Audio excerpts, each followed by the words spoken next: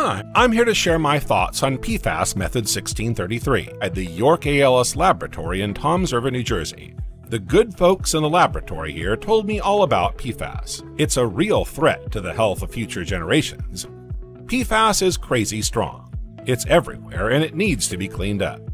The science behind the newest detection method is spectacular. Here are my thoughts on this advancement in PFAS analysis. Method 537 and 537M examines over a dozen PFAS compounds in drinking water samples. Method 537.1 examines approximately 18 PFAS compounds in drinking water samples. Method 533 examines approximately 25 PFAS compounds also in just drinking water samples. 1633 examines approximately 40 PFAS compounds in a broader range of environmental samples surface water, groundwater, wastewater, leachate, soil, sediment, and biosolids. 1633 presents the most comprehensive method to identify these dangerous forever chemicals in complex environmental assessments. Now let's go inside Method 1633 and show you the process from beginning sample prep to final analysis after the sample comes into the lab. After proper handling in the field and documentation by the login team, it all starts with the prep. York relies on Promochrom technologies to ensure that all PFAS samples compounds are completely isolated for analysis. Effective sample preparation enhances analytical sensitivity, precision, and data integrity, it removes interferences that mask PFAS and concentrates them for better detection. Without proper extraction, cleanup, and concentration, the final analysis simply won't be accurate. There are differences in how samples are prepped for analysis for soil and groundwater. Extraction techniques must efficiently isolate target PFAS compounds from the sample matrix while minimizing the co-extraction of interfering substances. Then, there is a sample cleanup process that ensures samples are analyzed without interferent substances. The solid phase extraction technology passes samples through a specialized cartridge that retains PFAS.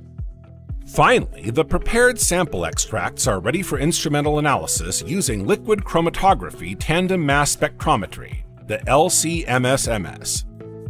The powerful LCMS is the most dynamic technology tool for analyzing complex PFAS environmental samples.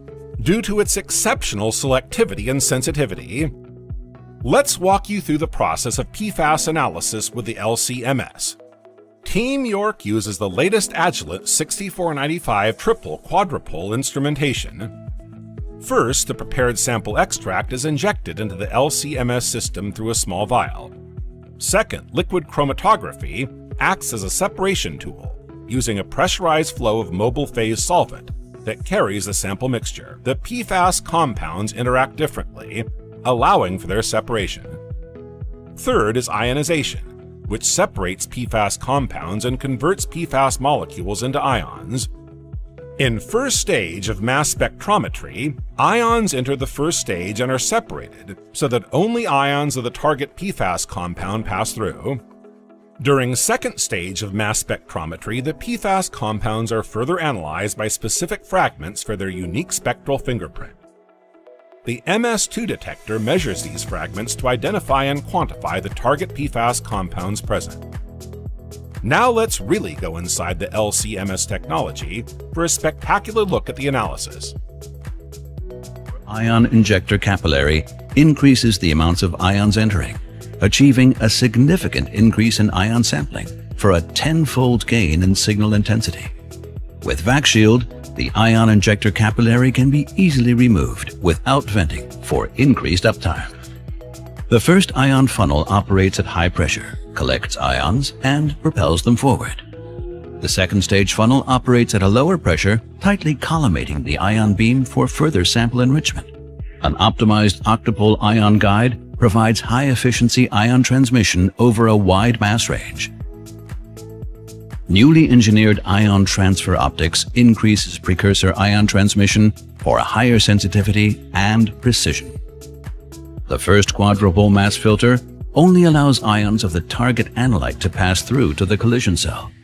The second quadrupole serves as a mass filter for fragment ions produced in the collision cell. For quantitative analysis of a target compound, the second mass filter is operated in a selected ion monitoring mode for target fragment ions. Following the LCMS analysis, the York ALS team has the most comprehensive PFAS data to share with clients on the broadest range of environmental samples.